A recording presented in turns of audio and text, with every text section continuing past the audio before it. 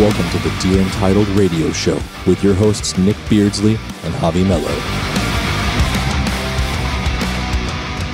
What's going on, everyone? I'm Nick Beardsley, and this is my co host Javi Melo, and you're listening to Dear Untitled Radio. Today on Dear Untitled Radio, we have the privilege of chatting with special guest Harvey Freeman, whom some of you know best as the vocalist of the rising UK based nu metal project Graphic Nature. 2019 found Graphic Nature front and center in the UK scene at launch, where they found quite a amount of su- success with a handful of singles. In between, they signed to a great label, uh, and in 2022, it saw them release two EPs, Killing Floor and New Skin, across the year. So, Harvey, we're stoked to have you on. Thanks for coming on today. All good. Good to be here. It's fun. Happy we could coordinate it. Uh, so, absolutely nothing can stop the Graphic Nature machine. It seems when Yeah. when when you and the guys started the project, did you ever envision that you'd be where you were today in this amount of time, even through a pandemic? oh, I still see us as a small band. I still think we're completely irrelevant. So, yeah. That's fair. It, it's probably It's, better uh, to maintain that mindset. yeah, it's a, it's a weird thing because like, I, I we get a lot of people now saying like, "Oh, you guys are fucking doing bits," and I'm like, "Are we?" Like, yeah, the Instagram might look kind of cool, but I'm sat at home watching The Mandalorian. Like, what are you doing? well, yeah. I love it. no, it's it's it's it's going well um, in that sense of things. It's it's weird. I don't really. I've never been good with like compliments uh, in general. So when people are like, "Your band's sick," and I'm like, "All right, cool." So who's paid you off to say this? Like, what's Yeah. going on? what Uh, what has my manager put you up to? yeah, I, I don't trust a lot of you. That's a good But, uh, it's mentality fine. to have, though. Yeah, I Uh, think you know what I it's- mean. yeah it's it's quite um it's quite bad in the sense because i'm always like never feeling like someone's genuine when they're trying to compliment something that we've worked so hard on so it's like a i don't know two-way mirror It- double-edged it's, sword or whatever it's always. I do know the feeling. Yeah. Mm. It, it always feels to me in that regard of like a almost imposter syndrome. Like I'm not good enough to be getting this praise. And yeah. yeah Yeah. absolutely But I mean, you you are the voice behind Graphic Nature. So even Hmm. even more so, you know, being the front man, being the focus to an extent. Um, yeah That's that's that's one mindset to go into it.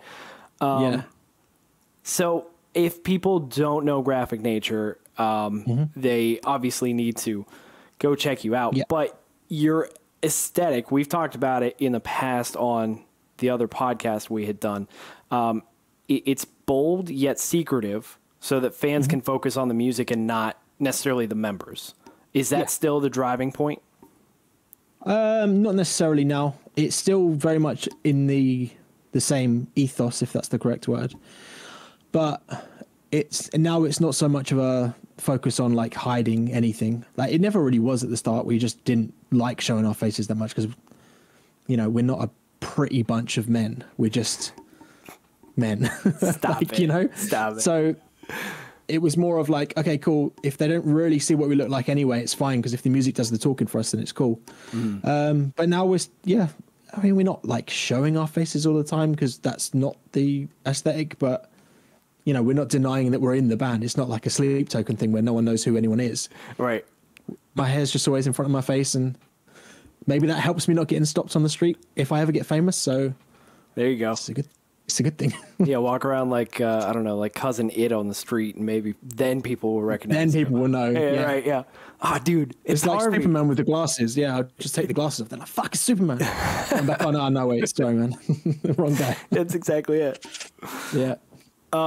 So, you're you're nu metal based. Um, that that's Mm-hmm. your your forte there. Your music is what some might refer to as extreme. Obviously, not in the metal communities because they're they're a Yeah. little more familiar with the genre. But Yeah. um, I, I have to say the numbers don't lie if people are saying you're extreme because I want to say congratulations on hitting a mass amount of views on Killing Floor video.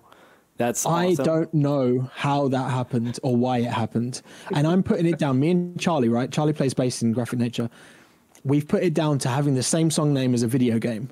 So it just comes up when people are looking for this video game. They're like, "Oh shit, is this the new like song for Killing Floor or whatever?" So they Right. click onto it, and then they're either like, "This is fucking shit," or they're like, "Oh wow, I've just found these guys out. This is fucking awesome."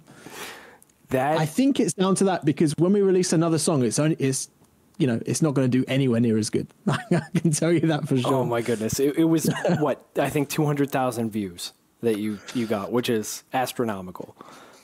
Yeah, it's um we once it got to 100 I was like, okay, this is really cool. And then it got to 200 and it's still going now and I'm like it's fine, like stop because I don't want to look bad when the next one comes out. Like, just Yeah. We'll, we'll take it. You've, you've you've made us like feel good for a day or so. Just just just leave it. Right. Um, but no, it's it's it's really cool. I didn't expect that to come off Killing Floor at all because it was. I mean, we have a fucking. I, I don't know what the, the sample is. It's like a didgeridoo like, or like panpipe type thing, made percussive. Right. So when people listen to it, like when you watch the re- um, the reaction videos, they'll listen to the first twenty seconds of the song or ten seconds or whatever, and they're like, mm, "I don't know if I like this," and then it kicks in, and everyone's like, "Oh shit, what the fuck?" so yeah, I'm I'm well into that. I think it's cool. Yeah. So I'm I'm glad people liked it. with the pandemic and stuff, since you guys are kind of scattered, like how did you go about the writing and all that? What was the writing process like for you? Uh, it was no different because we we always used to send things between each other. So before, fuck, before we started the band, like before Graphic Nature even came out, and we recorded the first EP, we'd never sat in a room, we'd never practiced together. We Oh, just wow. wrote these parts uh, like separate from each other. Went to George Lever to record the first EP, and then we're like, cool, we should probably learn these as a band now, and actually see if we can play them it's a weird way of doing things because in my other bands that I've played with, it's always been let's get into a room, write a song, see how it sounds, go into the studio once we think it's finished. So yeah, sending stuff over like Dropbox and Google Drive and stuff is it was no different to us. It I was kind of mean- good actually. like Right. I was going to say that actually, you know, I I champion that kind of process more uh, than most dudes do, and um, you know, it's probably bad for me to say because my professional life, I am a record producer as well. So me saying that is probably going to get me just beat up by the community, but I kind of champion that because, I mean, pre-production always was like kind of a secret, not so secret thing back in the days when people would meet up before the pandemic and all that. And you would have to spend all this time in the studio and extra budget just getting the pre-production days in, right? Because you need to see now whatever you've come like made up in your garage or wherever you practice, you now need to put it together to see if it even works yeah, yeah, that's out of the equation. You can actually do your own pre-pro, not spend all this crazy amount of money, mm-hmm. right? And then actually, what happens is we don't even lose budget. What happens is it gets the band more inspired to crank out even more music, and what would become the days of pre-production just turn into more songs. yeah. So it just evens Absolutely. out, and I think it's super cool. Yeah. I like it as well because coming from a person such as myself, it just means that I don't have to go to practice all the time. Right. and I can literally write from home. Like, it's great. I'm very happy. and nobody has to look over your back and like backseat write you or anything like that. Yeah. that. And so I take it from what you're saying, man, uh, that you all have the ability to record each other, right? Like you, you have your own setup, uh, your guitarist, same thing. Yeah, I mean, it's mainly me and Pete that will write the songs. Um, Sure. The drums get re- like kind of programmed in by Pete, and then Jack will be like, "Yeah, this is cool." And then when, once we get into the studio, we'll be like, "Right, cool. Now I'm going to do something different." But it's just like a bare bones structure of a song, just so he knows where like certain bits are going to be. But I think Matas does some stuff as well, and he's going to hate me for using his government name as he says for some reason. Um, he, I think he does have recording equipment at, at home. Uh, if not, he does it with Pete as well. So Right on, right on. And then um, you guys, I saw that you guys stepped into the studio with uh, George Lever. How was that? Talk about that experience. that was cool. It was our first. Um, obviously, uh, I think within the first two EPs with George. All right. and that was great. It was like a, a new experience for us all just to go somewhere else, and like I think it was in like I want to say near Devon. It was somewhere like way way out um, from anywhere near where we live. Um, it was cool. I enjoyed it a lot. It was a, a huge like learning curve for me as a vocalist because that was like the first proper time that I'd been in the studio as a vocalist. Like any other times I'd done it was always I'm at home with an SM58 just screaming in my room. And I was being gonna, in- um, I was actually going to ask that. I was going to say, is that the first time you've actually stepped into a studio with uh, with a producer? Have you recorded before? But you just told me you usually do it yourself. You kind of learned, right? Yeah. So, I, um, as a vocalist, yeah, in the studio, that was the first time. I played drums in bands since I was 14 um, and had done, I think this is my third album now with a band. Um, it's such a strange thing, but like, yeah, doing those two EPs with George was great because it was like, this is what we kind of wanted to sound like. We have like unreleased songs from when we done the EPs with him because we done more than we intended to release, and those I think have been lost into the ether of like the internet because I don't know where they are. They weren't great, but like it would be nice to listen back and be like, oh, cool, this is how we sound now. Um, but yeah, with with with our new producer doing the album was next level. It was wild. That's cool. Yeah. He did Black Coast album. Yeah, yeah, yeah. Nice. Okay. and that that's fucking incredible. So yeah, Yeah. when we heard that, we were like, let's give Sam a go. Let's see how it goes on. yeah. Um, but yeah, basically, like going back to the the drumming thing is like, Sam wouldn't let me like, we we never edited any vocals to like put them in, in time. It was always like they were recorded as if they were live, kind of thing. Yeah. So now even like my fucking like anal self when I'm listening back to the album now, I'm like, oh, I come in like half a beat too late on this vocal take. But to me, no one else is going to notice, but it's just me. Not Uh, only that, I but I, kinda like also think right, and not only that, but I also think uh, well, there's two things here. Like first of all, the the reason I mentioned about the drumming thing and it makes so much sense now is because it's not that I notice. What I notice is that the vocals sound very natural, right? Hmm. Sounds like hey, the vocalist is just skilled. End of story, right? You've just, just- confirmed that, and you've also confirmed the theory I've had for a long time, which is Yeah. usually vocalists who play drums have I won't say better timing than those that don't, but their timing is definitely stepped way up, right? Oh yeah, I. The thing is, when it, when like whenever we play live, I I don't care about whatever the guitars are doing. I'm just following Jack because if Jack's in time, I'm in time, and I I know where the vocal hits come in, just to do with the drums. Uh, right. and I right. think you could just kind of tell. Yeah, and and especially like writing that way as well. It's there's a I don't know the fucking vocalist's name, but he plays in a band called Verse, and the way that he does his vocals in a percussive way that go with the drums rather than the guitars is so fucking sick that I was just like Graphic Nature I have to have that kind of vocal, and um, we had a we had a guy uh, actually a few people in our Discord actually that have tried to do the vocals like a, a vocal take of white noise. And they're like we can't fucking do it. Like we just can't keep in time. And i'm like yes this is sick. I, I can't fucking do it live but I am the greatest.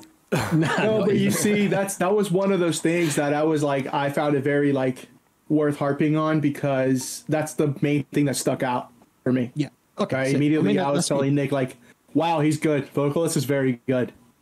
That's so very nice kudos to to you, man. Kudos to Cheers, you on man. that. Yeah, yeah, of course. Uh, and also, um, See, I am paying mentioned- him. no payment here. Um, also, question for you regarding back to the whole conversation we're having about the production. So you had George Lever do the mixing only, and or also producing for the previous stuff. uh, so george for our first two eps mixed it and then we got somewhere else, uh, uh, sorry someone else to master it Oh. and then same deal with with the album it was sam that re- that mixed it and then we got someone else to master it but Got it. Got it. yeah Nice. Very cool. Spinning back to we were talking about how your music is spreading lately. You know, the, the Killing Floor, the the music video is growing, your traction is growing just with the audio. What piece of your music do you think travels the farthest with new listeners? Is there anything that comes to mind of like if someone latches onto this in our music, what is it? Oh, dude, I don't even fucking know, because uh, like I- you, you're probably the same as me. Whereas, like, you know, when you listen to a piece of music, like I'll listen to vocals and drums in my ears, but like Pete will listen to guitars in his ears. So I'm not too sure, like, what listeners will take from it. In my own you know, special little world. I'm like, oh, everyone likes it because the vocals are cool, but they they probably like it because the riffs are cool or the drum beats cool.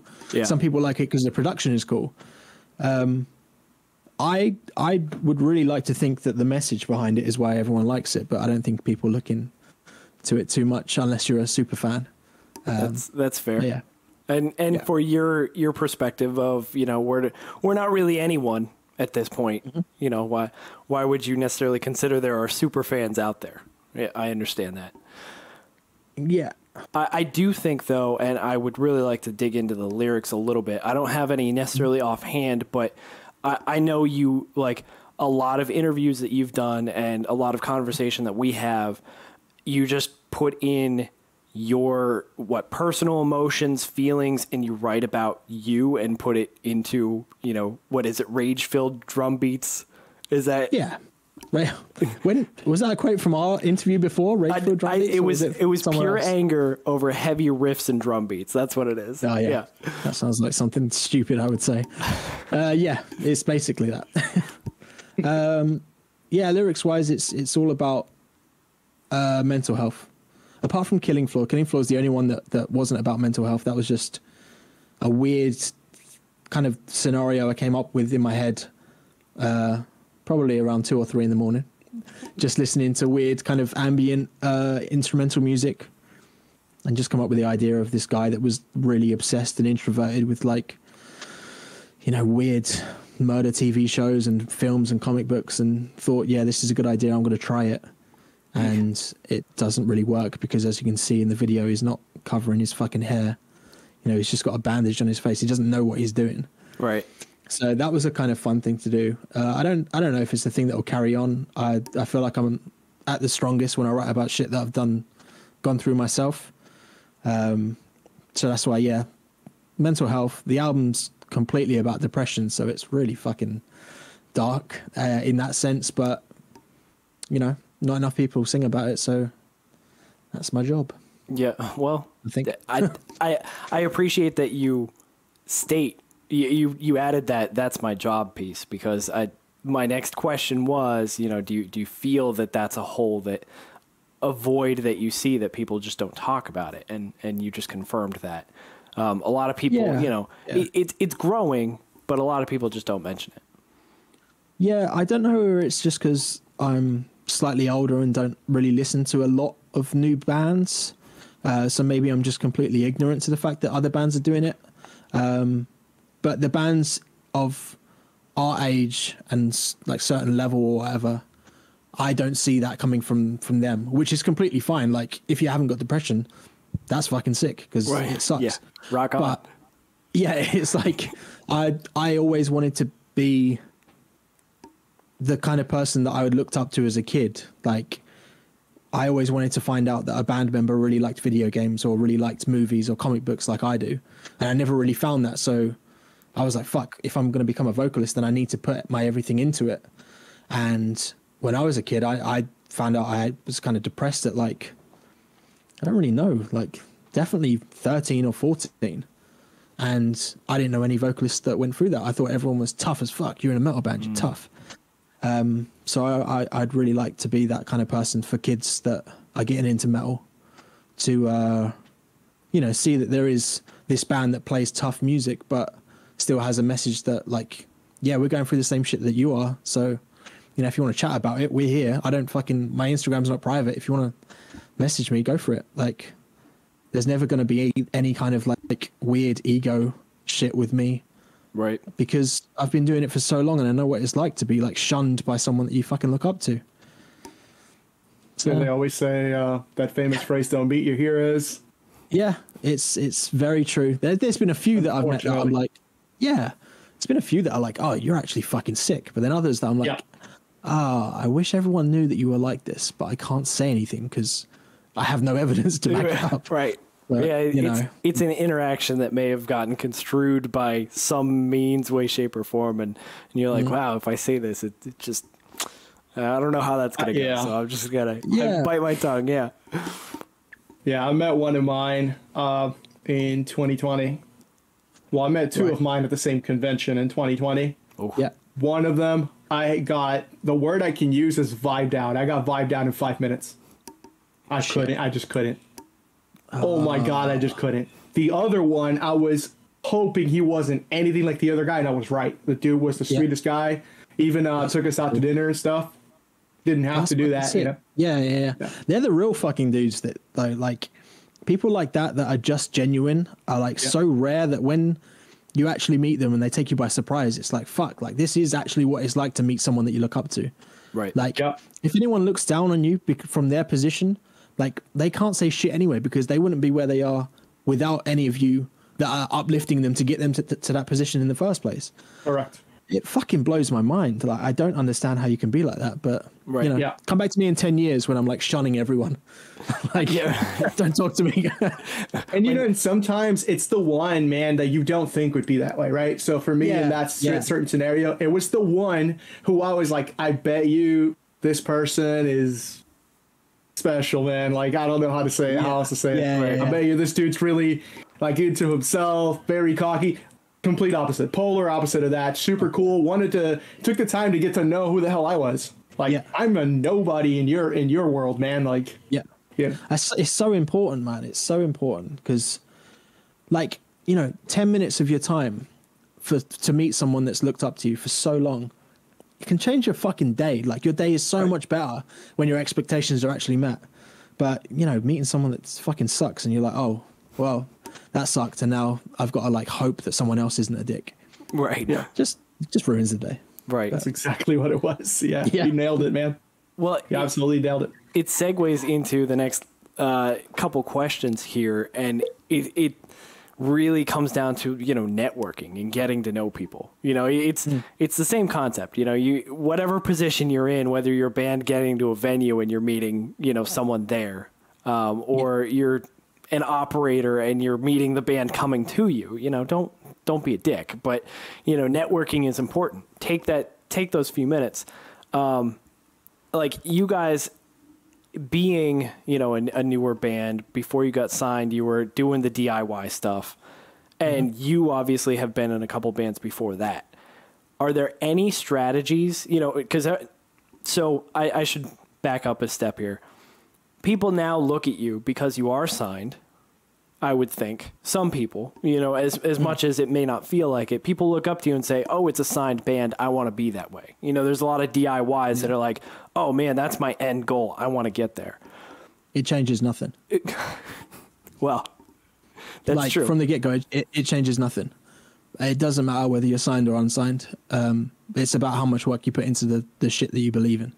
right. Being signed is just like, I love my label so much. Like they are fucking awesome. But it's just the same as like, you know, being, um, they're, they're like investors, aren't they? So that they're investing into your band, into your product to then put it out, to then, you know, make money from that because that's how business works. Correct. Yeah, if you can if you can do that without having investors, you're still doing the same shit, but without you know someone taking a cut. So if anything, DIY is great, and I've done both sides of things, and I loved both sides of things. There are stuff that I couldn't have done right now without Rude's help, Right. and there are stuff back then that I did, which is the reason why I'm in debt now. But I wouldn't change it because I had that experience. Right. So Yeah, and and I apologize. I have not mentioned it yet. Rude Records um, is the the record label. Shout out to them. they are fucking awesome. they are awesome. They have Yeah. quite a great collective of of bands, quite a great roster. Um, so, it, just diving into what you just said, though, are there a couple habits or strategies that maybe you had, you know, going through that to get to, you know, to be successful, that you could kind of share with DIY artists listening? Um, I don't really know because I don't think we're successful.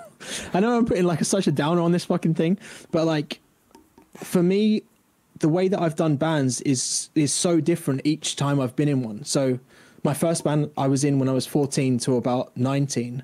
Second band I was in from like 20 till 24, and then I done like a, a small thing, and then obviously joined graphic. Well, we created Graphic Nature when I was I don't know 26, 27 every step from each band has been completely different because the times have changed so much. So Yeah. before it was like, oh, let's release an album and the album will do well and we'll get in Kerrang and that'll be cool.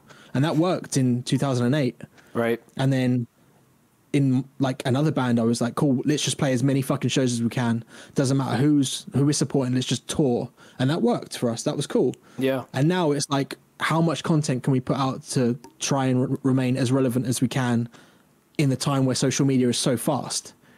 So the first time we released the the the first EP, it was like, oh, we'll release a song a month, and that helped Yeah. because it was a constant stream of content. Right, the first song come out, grit. Everyone was like, "Wow, this is sick," and then the second song come out and was like, "Okay, cool, this is this is cool." Third song come out, and someone was like, "Oh, I've seen this name, Graphic Nature, for the past three months. I guess I should check them out." Yep. and then that grows and grows and grows. So it's just I think adapt with the times that you're in. Sometimes it doesn't work the way that it used to, and it never will because you know back then, like even before I started a band in like the early 90s or whatever and like the 80s like they didn't have social media they didn't have like streaming sites so their thing was literally touring and releasing albums because th- that was a, a thing that they were able to do Yeah. so yeah, just adapt and um, don't be afraid to to try things that seem uncool. Like I was so against TikTok. I don't use TikTok, Felt. but like I don't use TikTok for myself. Right. But I watch a lot of TikTok, and it's fucking hilarious. I find funny shit on there, and I sometimes find bands on there. Yeah. So it's clearly a, a, a, platform that kids and like, you know, millennials and whoever else are fucking using. So it's definitely a good platform to use. Just don't be put off by the fact that just because kids use a platform, that means that it's not for you. Right. Just fucking try everything you can, because one of them's gonna fucking work. Right. Yeah. Some, yeah. Somewhere something's gonna stick to the wall, and The numbers game. yep. Yeah, just just don't be too proud to to you know just try shit. Like you're never too cool to try something. And Yeah. like I'm sure people you know, like when we were kids, we had MySpace, and then like everyone was going, "Oh, we're going to Facebook," and I was like, "No, Facebook is never going to work. MySpace is where it's at. It's the best website ever." And then everyone uses Facebook. Yeah. It's just adapting. I still want to rank my friends, so you know, bring that Right, back. I want a Instagram. top ten. exactly. I want someone to feel really bad that they're like number four. Right. Right. Yeah. Well, this is why. Wait a second. We just went out the other. No, you're still four. Yeah. Yeah, this is the reason why you're fourth. Yeah. um. So, you know, you we we've discussed in the past as well. You know how stressful to an extent it is to craft, write, and curate your own content, and and referring to TikTok and trying and adapting everything. You know, Yeah. do you still feel that now as the band, and you know how do you guys cope with that struggle to kind of stay relevant now? I guess. I think it definitely was a, an issue when we first spoke, like two years ago. Yeah. It's, it's technically not three years ago now, is it? No, it was December. It's, two years. Two years. Two years. Yeah. Two years. It was like that when we when we spoke before because we didn't really know as much as we do now, obviously, because we're, we're constantly learning throughout the years of being in this band. Right. Now, doing content is so easy because we know exactly what we need to post hmm. and exactly what we need to do. We've got the color scheme down, we've got the outfits down, we've got how we present ourselves on social media on, on the band side of things. Everything is short and sweet. Graphic Nature doing this, Graphic Nature doing that. Like that's it. There's no big long text. If you want to see the big long text, come to my personal page because that's when I'm giving you my heartfelt Right. thank you. But everything's short and sweet because, like I said, it's quick. Social media is quick. They don't want to read an essay. They want to see Graphic Nature supporting Cancer Bats. That's cool. Like next one. They don't want to see Graphic Nature is so happy to announce that we're touring with Cancer Bats. This is something we've wanted to do for many years. Blah blah blah blah blah blah blah. Yeah, that's cool. Yeah, I have yeah. wanted to do it for many years, but I'm not going to fucking tell you on the, the the main like page kind of thing. Yeah. Yeah. Um, so yeah, it's it's definitely it's it's much easier now just because we know exactly what we need to do. Fair. Um, I, I don't mean to like dredge up an old interview by by any means. Mm-hmm. I, you know, these were these have been points on my mind. Um, so sorry if uh, No, not it at all. sounds No, no, no. outdated. But Not not, not only that, yeah, you said something pretty cool there. Um, actually, that I feel that not enough people talk about, and something as simple as if you're on social medias for your band and stuff like that, keep it short, keep it sweet. You know, kind of. I see a lot of bands do the complete opposite of that, and uh, then their bios they go into freaking life stories. Like, what are you doing? Yeah. You know what I mean? so- like I I have a short attention span as it is. I Same. find it hard to read like a full book. Um, Same. So yeah, unless they did it with that. Have you seen that um, bionic reading or something where they like they they bold the first two letters of each word, and it's really good for people that have like neurodiv- neurodivergent heads. Um, so you can pick up on the words like way quicker than like Oh. reading without it. I'll send it to you. It's So- uh, Yeah, it's so they put, interesting. put like the first two letters together, so it's a Yeah, so if if if a word like, f- you know, for instance, the first word was stone, the the S and the T would be in bold and like oh, highlighted kind of thing. Okay, yeah. I So gotcha. like your brain automatically finishes the rest of the word, I could predict. so it, you yeah. can read. Yeah, so you can read super quick, and it's really good for people that have a short attention span. wow. That's actually perfect for me. I Yeah, only dude. have Definitely have a look at it. I only have attention to detail in my professional life when I'm working, I'm mixing music or producing. Anything yeah. outside of that, dude, uh, it's like ooh, fly. Yeah, Yeah. yeah. That sounds like ADHD, my friend. Probably some some of that mixed in there. I was gonna say by the end of all these these episodes we record, we're just gonna have you know it's gonna be self diagnosed of yep. oh yeah, yeah, for sure. That's it. Yeah, it, Um, it it's it goes to uh, uh, there's obviously number games out there of you know so and so spends X amount of time just you know at first glance what is the impression and and that exactly that keeping it short, sweet, to the point, nice graphics, good looks. Yeah, That helps. Yeah, if you have I think nailing, yeah, nailing down your color scheme and aesthetic, I think is such a big thing, and it's also another point that's so missed.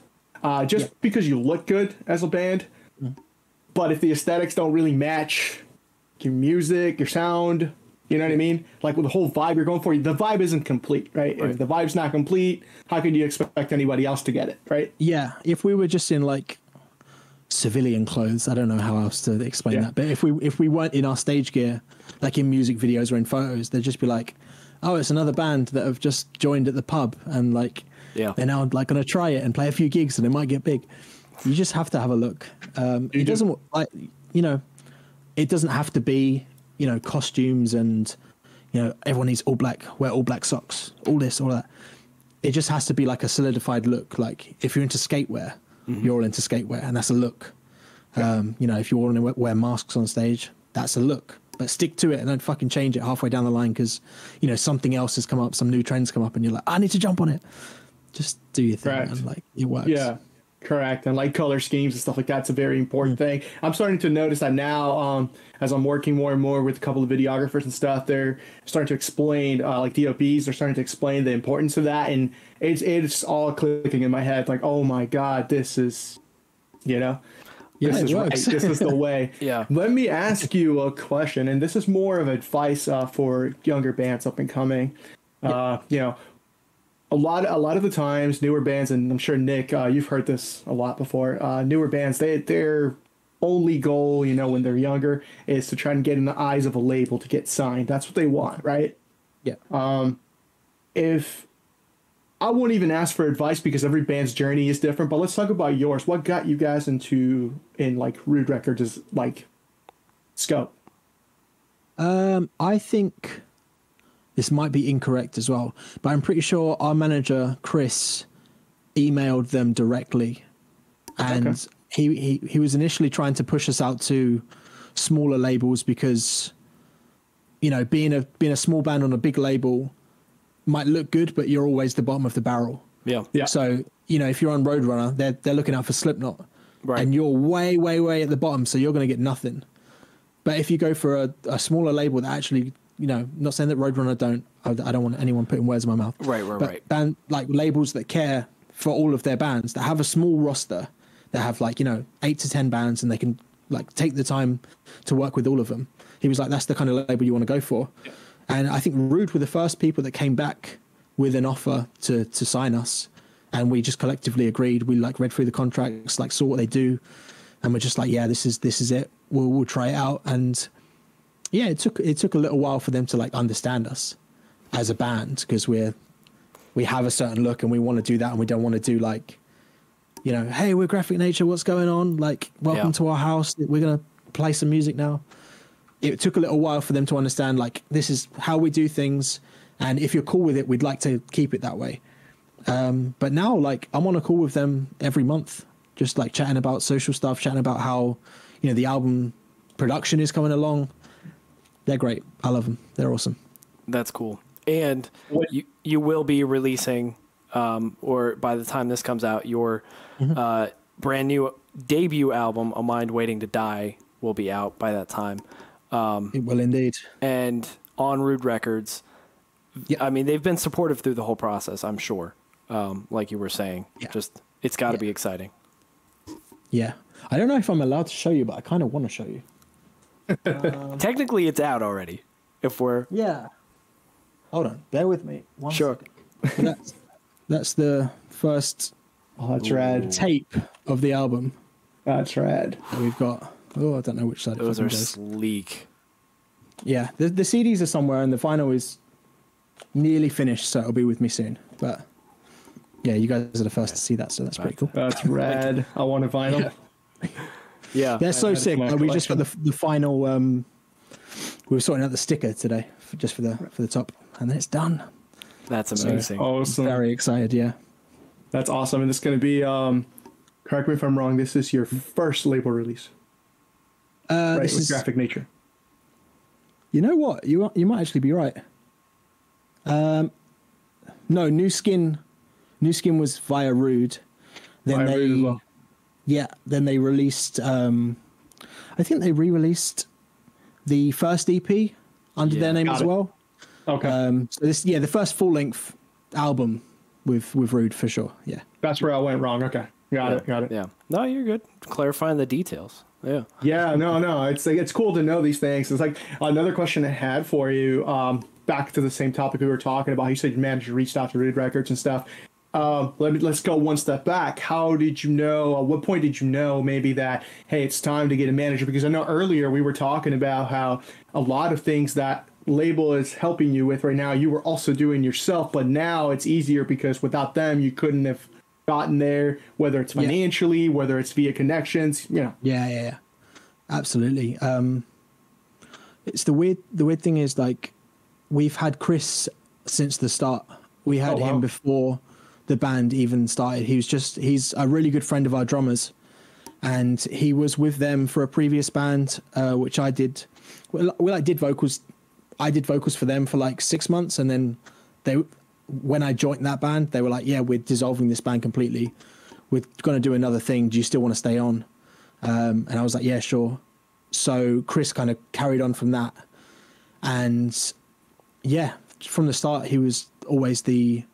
We'd send songs to him, and he'd be like, "Oh yeah, does this sound good?" And he was like, "Nah, write another one, write another one, write another Did one." he And really? The most, the most honestly, I wanted to fucking kill him. He was the most frustrating person in the world. Oh my goodness. And then once we settled on like the final songs that were done, he didn't reply to us.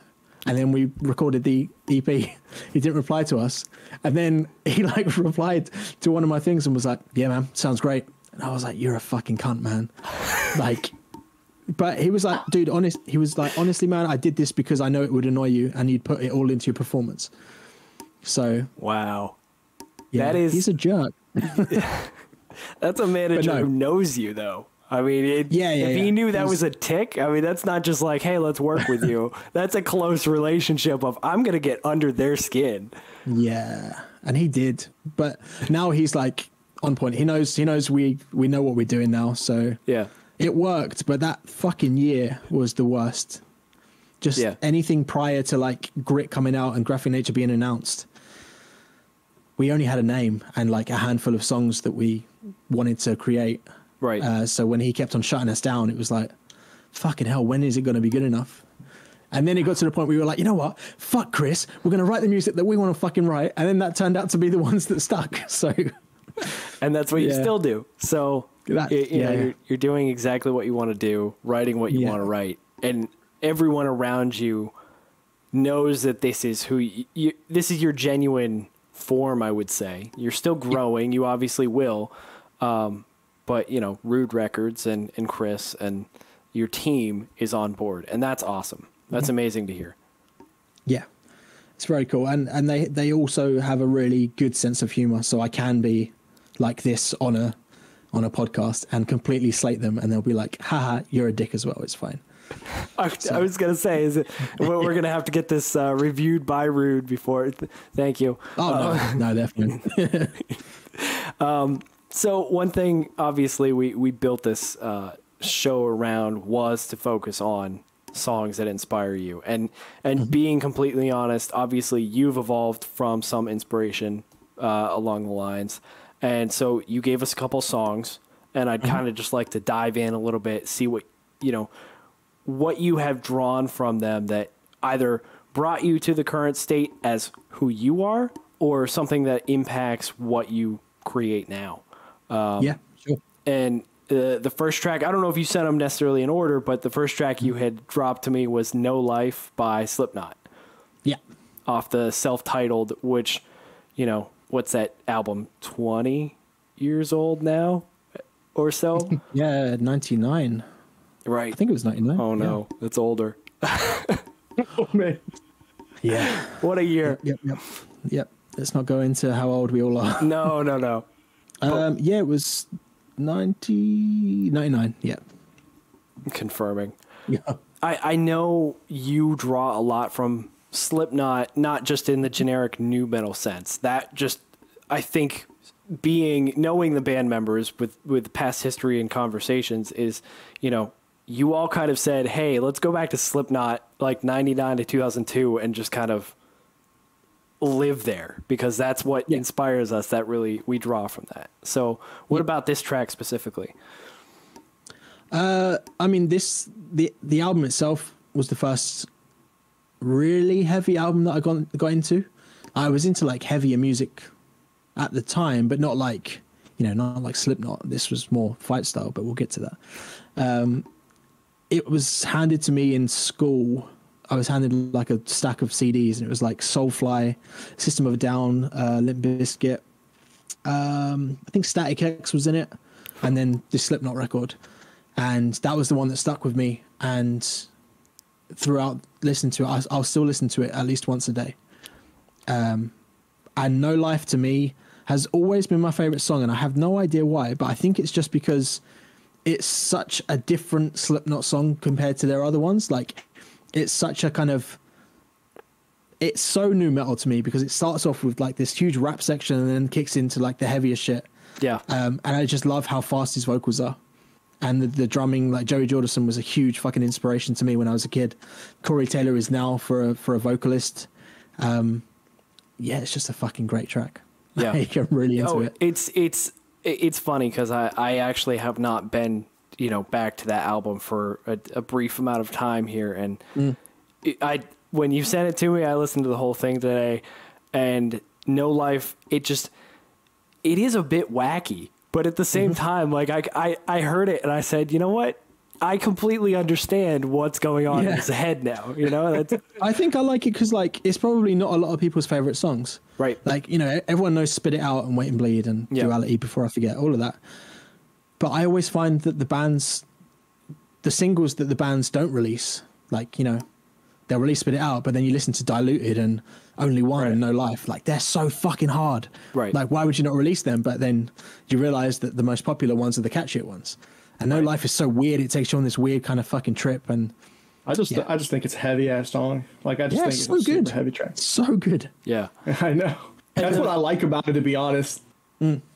and then those unreleased singles really i mean people will at re, in reality experience that with graphic nature you know when when we hit the the album it will you know it helps make the composition and that's Yeah. you know that that's an even better part when you do go to release an album in today's day and age i think Yeah. yeah, I just I like it. i, I love it i mean, love it I mean, it's the the numbers on Spotify, man. They speak for themselves right now. I mean, you guys are still growing. That's totally cool, but like you're moving fast. yeah Uh, whether I know, I know you said you don't view yourself as successful, and honestly, that's a great state of mind because it just means you're head to the grindstone. Keep working, keep working, keep working, and that's the right way. But uh, you guys are growing quickly, very quickly, um, especially for a band that formed in 2019. Yeah. I mean, I have- technically, it was like the last couple of months of 2019 as well. Oh my gosh, so it's not even really 2019. So it's like, look, I've got friends uh, that have been doing the band thing for 10 plus years, and Yeah. they don't have your Spotify numbers.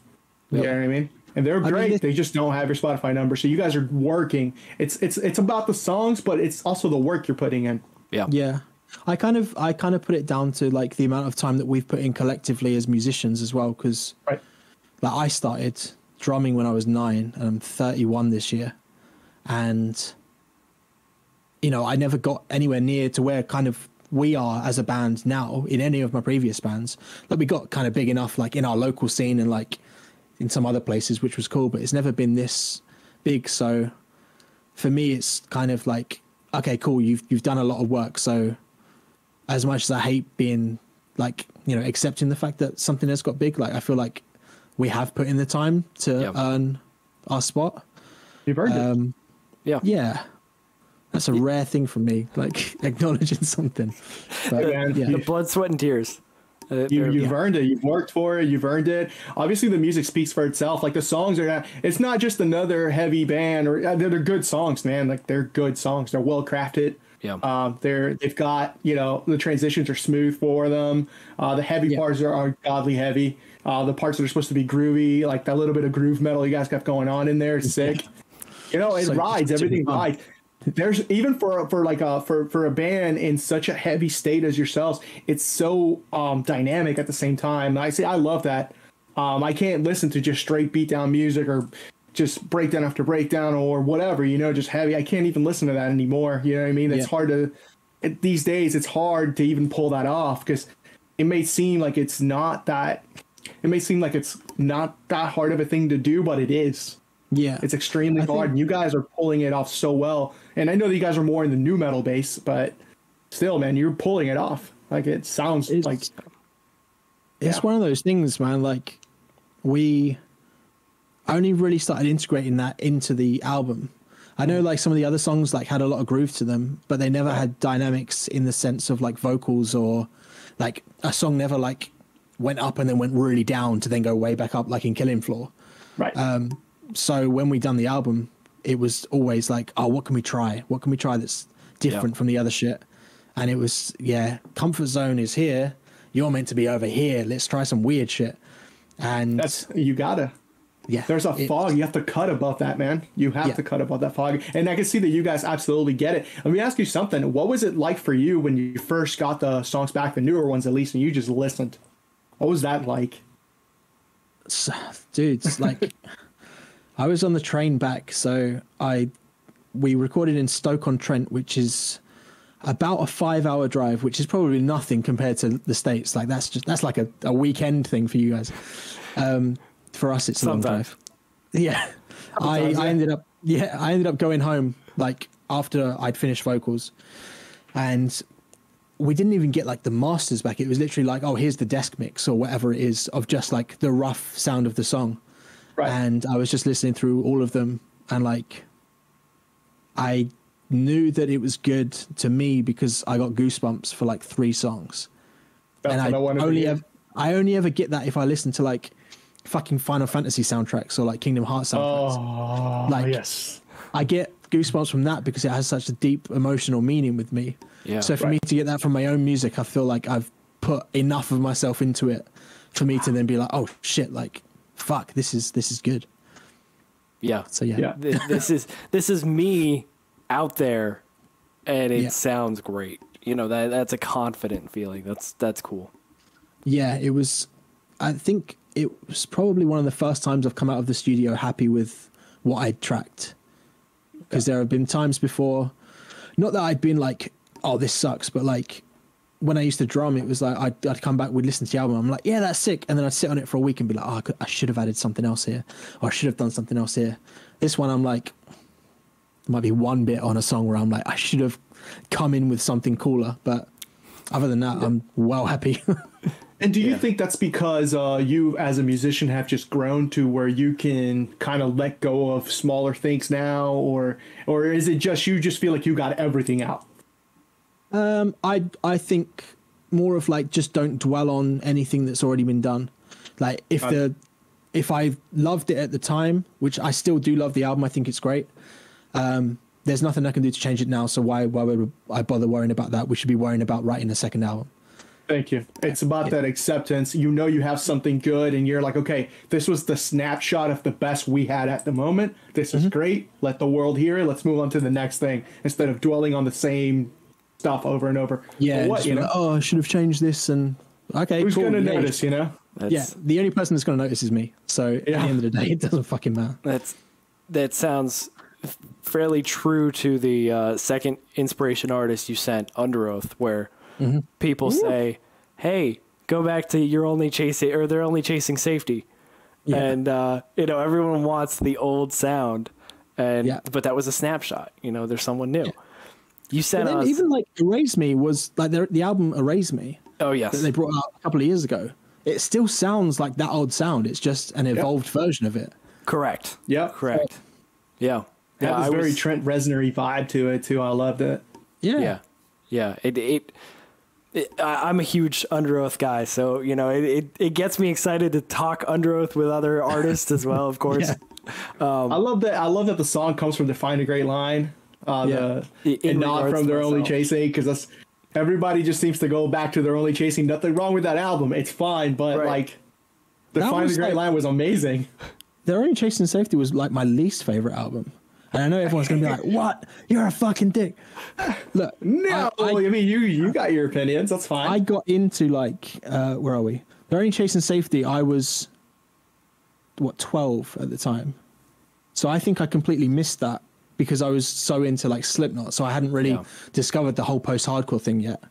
So when Define the Great Line come out, I was obviously, you know, just starting my own band that was a post hardcore band. And they were like, listen to this album.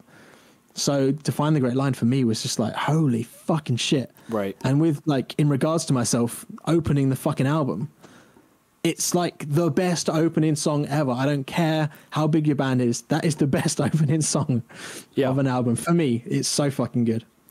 well define the great line came out i was going to say uh, they're only chasing safety i was pretty sure it was 2004 defining the great line Yeah. was 2006 for me i mean both those albums were were big uh, you know Mm-hmm. lost in the sound of separation was is like still within my top five all time you know Oh, yeah. it, and but it wouldn't have been as good without define the great line and especially you know in regards to myself the song you had sent it's it's enough of the chaos. It, it's I can see the translation. You know, it, it's the growth of Harvey. You know, here's Slipknot. Here's a little like you're, you're transitioning, and you Yeah. know, especially that album, Underoath still had that bite. You know, they they almost transitioned out of hey, we want to do this mainstream. We don't even know it's mainstream yet, and now we're kind of digging back in, Yeah.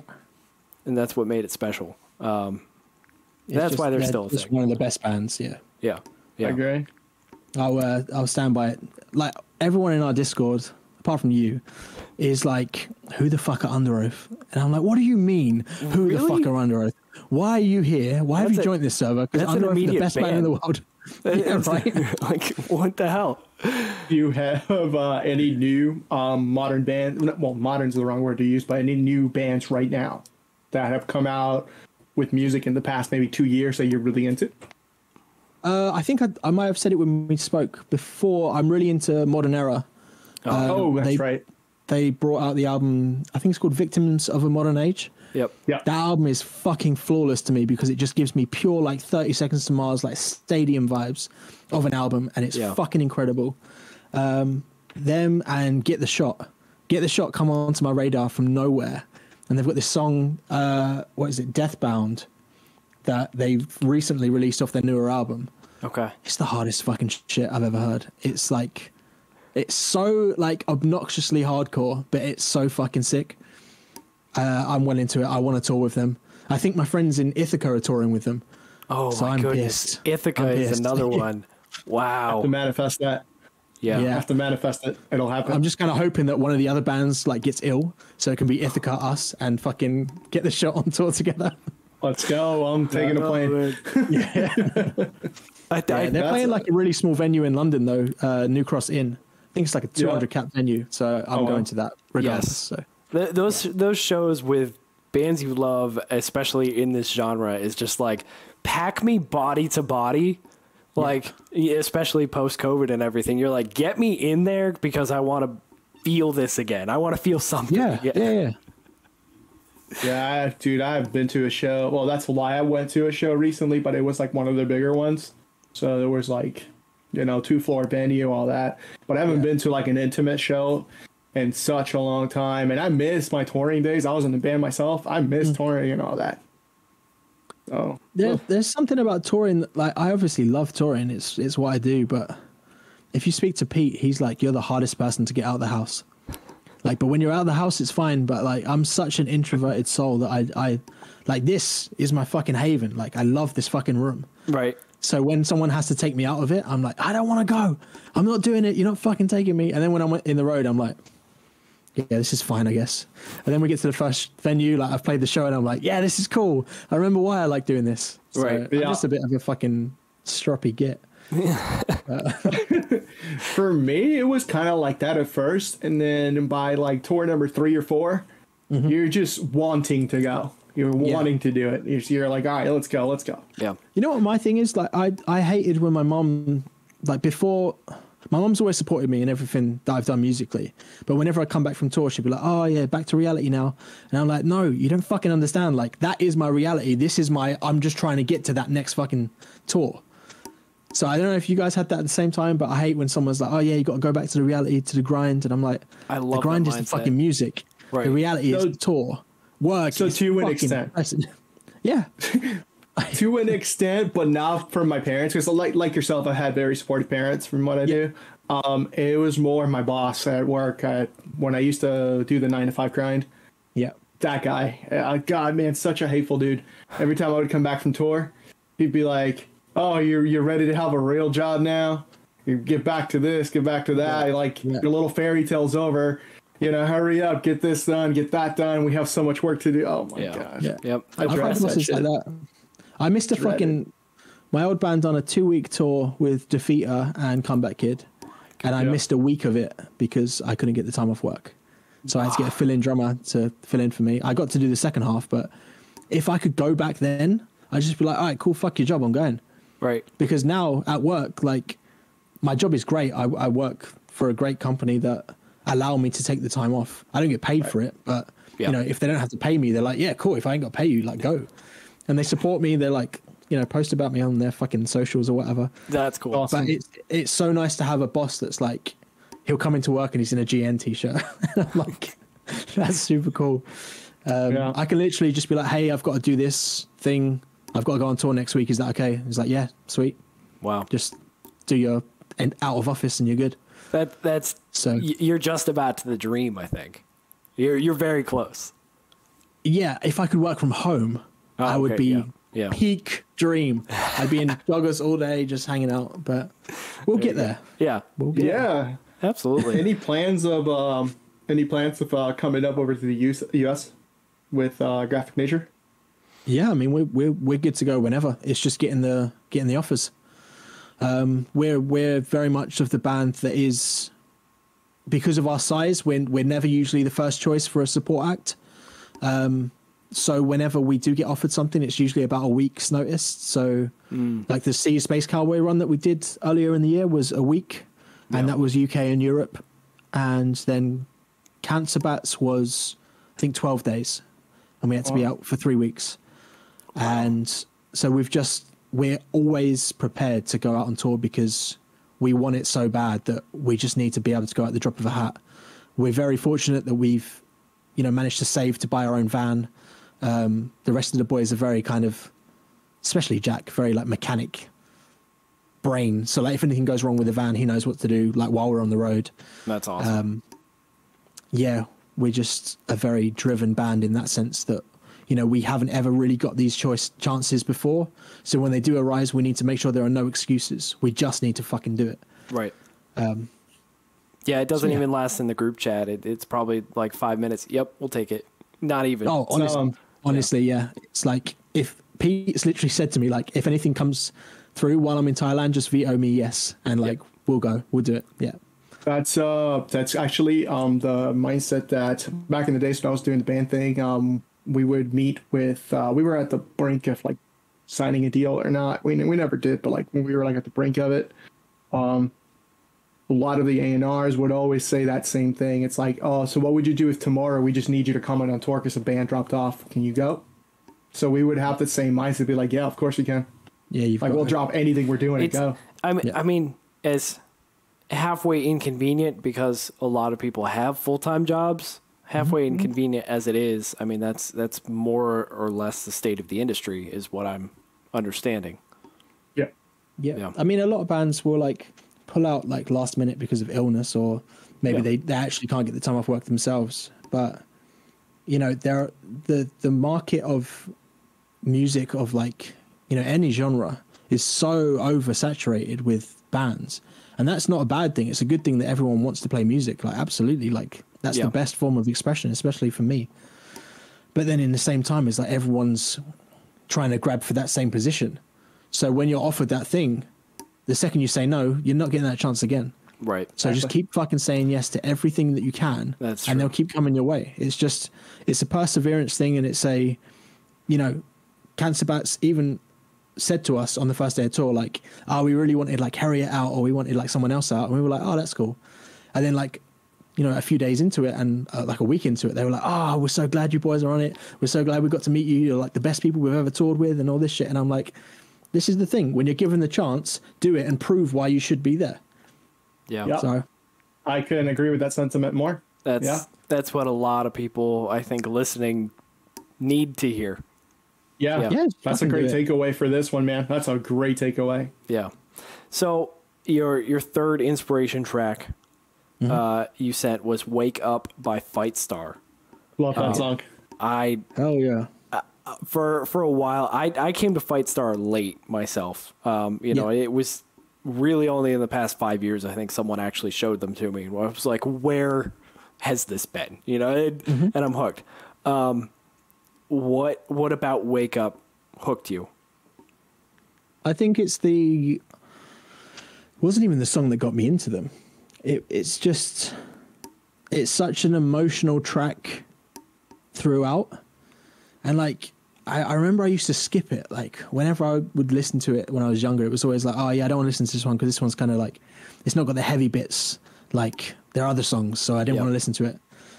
But then I think I just sat on it for ages and then just listened to it. And I was on the train or something, whenever. And when that last fucking chorus comes in, and you've got all the gang vocals and shit, like that's that's a goosebumps moment for me because I'm just like, this is such a fucking like pinnacle of what a song can be. It Right. goes from being like this, like, you know, it's a decent song, and then it just ramps up into this anthem, and you're like, fuck, that it just gets me every time. Yeah. Like, Yeah, Oh, it's they, phenomenal songwriting. they have yeah, and such a way with emotion. Yeah, I just want to fucking be Charlie Simpson. I want him on a fucking graphic nature song, and I'm gonna make it happen. This is a this is a a timestamp, date stamp, whatever you need to do. We're gonna tag him. I'll get him there. Got somewhere. a fest there. Let's tag him. Yeah, this specific. Yep, we'll we'll send this out on uh, you know as promo and tag him. There you go. Yeah, It's gonna happen. There you go. Maybe Manifest. hey, maybe we could uh we could be of help in uh making uh graphic nature's career a little bit, you know, more. oh, dude, could you imagine if that happened? I'd just be like, That'd be great. Yeah. we've I would got a love to see nature that. song with Charlie fucking Simpson from I would Club. love to see that for you guys. Yeah, Yeah, same. yeah. I had, um, and again, I I came to him late, but you know, again, the emotion just captured me. It was "Sink with the Snakes" off their latest album. Oh, it, it's that another one. fucking great. it I you know for an entry I was like oh hello like yeah let me listen to more you know it, Yeah, oh, Animals from that album is, I think it's Animal. Yeah. Fucking hell, they're just so good at choruses. I don't understand. Like, it's I feel like yeah I don't know. it's structured and and nestled in just right so that it's Yeah. like wait I you know a couple hours after you hear the song you're like wait why why is that still here you know it's Yeah. it's it's the earworm The thing that I really love about Fightstar and people like never listen to him because they're always like, "Oh, isn't that just Charlie from Busted?" And I'm like, "Yeah, it is Charlie from Busted." The reason he left Busted is to do this band. Like, just give it the time of day. And then, like, even my wife, she was like, oh, "I've never really listened to Fightstar because, like, I was a McFly girl and I didn't like Busted that much." and now she was like, "I was listening to Fightstar all day at work the other day. They're actually really good." I'm like, yes, I've got you. Um, truly, I'm, burner. I'm halfway. I'm halfway impressed you got to the marriage stage, and uh, that had not happened yet. So, oh, I'm pretty sure I played it on like a second date, and I was like, "How good is this?" And she's like, "Yeah, it's pretty good." And now it's like, Alright. "You need to like this for us to remain together." right, No, I'm joking. It's not. qualifications. Yeah, yeah. if you do not like this, our entire relationship is in jeopardy, woman. Yeah. Understand this. Oh my. Um, so let's let's get a little bit into the debut album. Um, Obviously, I it has not been released as of this this uh, podcast. However, when this re- the podcast releases, it will have been out. Um, coming up, you said it's dark. It's it's emotional. Um, it's every track means something special. Um, Yeah. do you do you still have within the collective of the album that ferocity Dear and Untitled, intensity here for the pe- artists people have heard supporting the in- creatives. in the singles so far Yeah. Yeah. Um, pretty much every song. And we've got a really funny uh, review on iTunes, I think. It's our only review from the album. No one's heard the album, but we've got one review. And th- someone's given it one out of five because they said, I liked one of the tracks, but the other one sounded the same. So if that if that's anything to go for, then okay you know the, the tracks are heavy. They're still there. I don't know why you how in the world does that even happen uh, it's not even out and I think because like you can buy like Killing Floor, Into the Dark, Bad Blood, and White Noise like as their own thing. oh And I think they bought one of them, and then like you know you can like preview listen to the rest of them. yep I think they were like, oh this this one's cool. Let me try the others. Oh they just kind of sound the same, but they there's don't. there's the killing to- I floor guess to you they do. fan Yeah, that's it. Yeah, You're right yeah yeah. he's like oh this is Um, cool to slash and hack and whatever with and Yeah. oh this isn't as good yeah. There's there's a lot of um, obviously the heavy heaviness is on there. The um, kind of is diverse the word where I've like changed. Oh, dynamics. The dynamics are different for my vocals. Uh, I've tried a lot of new things with it. Um, it's still just as heavy. It- I mean, it's definitely Yeah. heavier than the other Right. shit that we've released. Um, there are there. I think the last two tracks, um, a twin and the downpour, are our most like out there kind of songs. Like a twin. This is going to come out, you know, Yeah. after the album's out, anyways. So I'm going to talk about. It. The twin is like it's a monologue that I wrote um, about my sleep paralysis, and it's something that I've suffered with as a kid. And I thought it kind of went away for ages, and then I started having it again quite recently, um, like literally the night before we recorded the song. So it, I woke up and was like, okay, I'm just going to write what I'm feeling, and you know, see if that works. And yeah, it's different. It's it's like a it's like an instrumental song that just has me kind of speaking over the top of it, Well, which I think will will kind of take people off guard a bit. So Yeah. I'm excited for that because that's one of the songs that gave me goosebumps because I'm like fucking hell, like this sucks. I hate having it. I'm interested in hearing that one because man, sleep paralysis, that's some scary shit. yeah I've been through it. terrifying. I've been through it, and um, sometimes you know, have you? Well, I don't know if this will trigger anything, but like, uh, there was one time which I just, I just drifted into it more and more and more, just to see yeah. what the hell would happen, and all I Yeah. heard was a loud bang and woke up, and it was like I don't want to experience that again. Yeah. Which is Mine nice. like it's it's so fucking scary. So mine for this the the the ones that I used to have as a kid was was what based this song. That didn't make a fucking sense at all. Sorry. don't Um, worry that song is based off of the sleep paralysis that I had as a kid, and it was based on these two things that were in my room at the time that I can't explain correctly how they looked, but it was like these weird fucking shadowy figures, but they both looked exactly the same. So they were twins to me.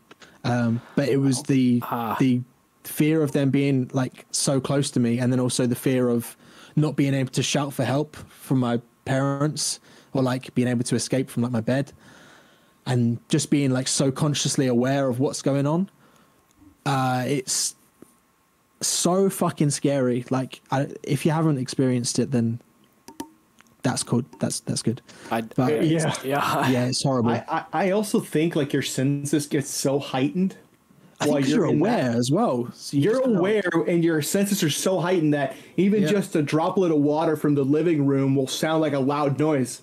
Yeah, You're just so hyper aware. yeah. I don't know what causes it. I'd really like to look into it. It's just fucking Yeah. scary. Our brains are fucking weird, man. Like, Oh Dude. my gosh, yeah. yeah, It's a whole. I, I, I live with a doctor now, so it's it's like, uh, you know, it's a whole different experience to be like, oh yeah, well this happened. Why? Like the body does that, you know? It's it's it's a whole different saga. Yeah, that Um, that see what- sounds. It, it, I mean, impressively, just personal, but intriguing. For you know, I I'm anxious to hear it. Um, and I, I, me too, actually. to be a closer or you know next to in that that realm i'm i'm excited on an album because i always i do like you know you you go through the the arc of the album and then it whether it just kind of closes on the same energy or it just throws you a curveball it it makes it impactful either way because it can be done yeah, well It's, definitely a curveball. Yes. It's not like you know, it's not like out there. We're not like Yeah.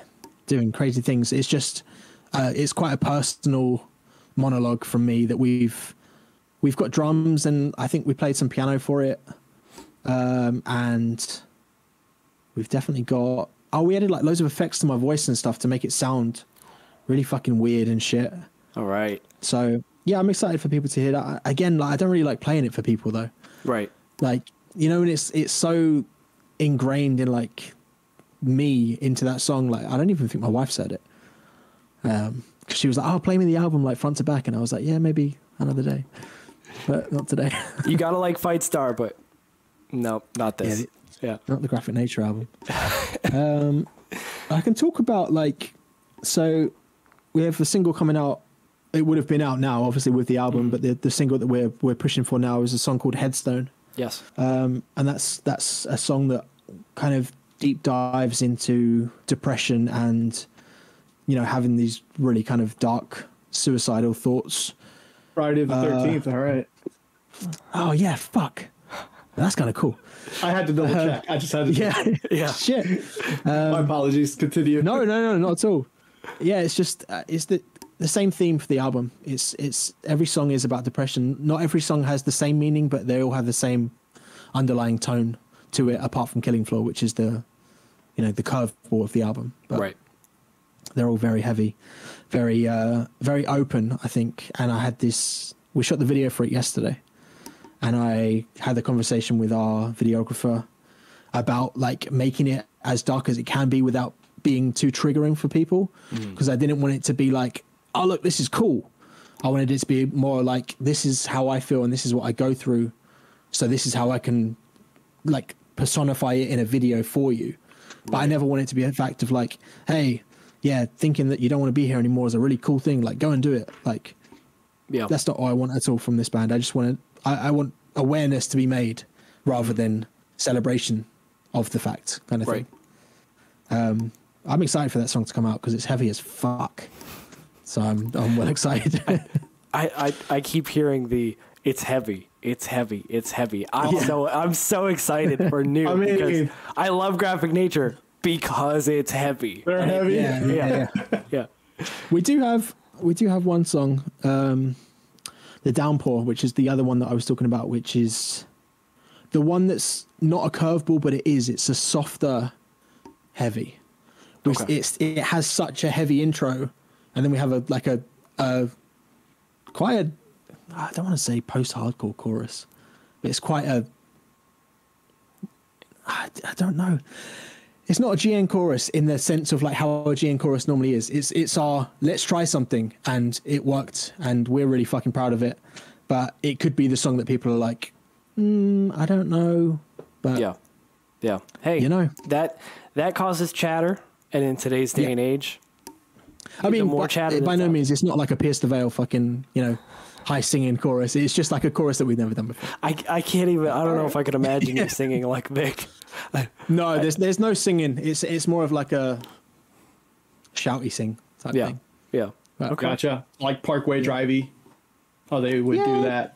Yeah, who knows, man? It might not even be anything to what I'm describing it to, and you guys are like, no, it was still heavy as fuck. What are you on about? What the- Yeah, yeah. We'll I mean- listen to it and then we'll edit this podcast. Yeah. yeah. yeah, yeah. Nah, that guy's full of shit. Um, no, dude, it, this has been so much fun. I, I yeah, man. seriously always love talking to you and the guys. Um, it, you're just, you know, you've supported Dear Untitled, and it's always a, a pleasure to help try and support you back. Um, Yeah, in any way we can. Um, and then I know Javi's excited because you know I, I he I don't shut up about you guys. Like there's certain No. bands that I just like the the group chat is like oh Graphic Nature's doing oh they're doing this here's another track, and uh, you know he's like oh I got to meet him all right and you know Yeah, we we've Yeah, had a lot of I- fun. I want to come to the states so bad, Oh, please do. um, just to tour because uh, the UK is fine, but you know, I feel like the US needs a bit of GN out there. Yes yeah yeah. We're not, you know, not a lot of people know about us, but you know, if we play enough shows and post enough content, maybe they will. So, top city, top countries are the United States, number one. Number two is the UK. Number three, Germany, I had Australia, a Canada. feeling. I had a Yeah. feeling. Your your sound is very palatable to the U.S. market. And you're bang on. Chicago is the the city. Ah. like scrappy nature most. Chi-town. all right yeah I'm gonna They're I'm- like Dallas, Philadelphia, Minneapolis. oh well you know Philadelphia's dropping because I moved so that's ah. Maybe they're just trying to keep it alive. Yeah there you go like, oh, Nick really liked Graphic Nature, so we have to listen to this because he's left. Absolutely, yeah, it's coming back. It's coming back. I'm gonna be the come to Brazil crowd, but the U.S. Yeah. I love that. It's like, oh, come, like, I think when Horror posted the tour poster for our tour, and they were like, it's hardly a UK tour. It's like, uh, yeah, but we're touring in the UK. It's not, we're playing every fucking city in the entire fucking UK. Oh my gosh, We're playing some of the main ones. And, you know, if you've got a two hour train drive and you want to come and see a band, you can do that, you know? Like, it's, Right. it's okay to travel to see a band. Oh, I've made bigger drives to see bands. yeah. This is what I mean. It- so again, thank you, thank you so much. Um, I'll grab one of these thank yous here um, for being on. Yeah, that's, that's so good. uh, and uh, we are looking forward to, you know, obviously hearing the album. Everyone go spin a mind waiting to die, uh, and everything else of graphic nature. Is where can people find you best on socials? I'll have all your links in this description, but it's typically what graphic nature four hundred four. Mm-hmm. Okay. Yeah, uh, best socials is Instagram. Okay. We find that's that's where we interact more with people, or you can join the Discord. yes. Um, we always post links to it every week or so. Mm-hmm. So, yeah, it's it's unhinged. Everyone is really horrible to each other, but in a controlled manner. it's true. So it's great. Yeah, I am part of that, and it's Yeah. it's rowdy. yes. Yeah, especially when you come out swinging about what it what's spread on uh you know what's spread Oh, or uh, what was the other question it was. Do you put spread on spread? Like, do you do you put Yes. butter and then Nutella on the top? yeah yeah yeah it, Uh, it gets wicked in there so No, single spread. That's it. You don't spread on spread. yeah. That started a whole fucking thing that went on for hours. it, it did it did. I Yeah, i apologize. I sidetracked us again but this is how much fun we have. No you're good. Um so thank you everyone and uh we'll catch you next time on dear untitled radio. Woo.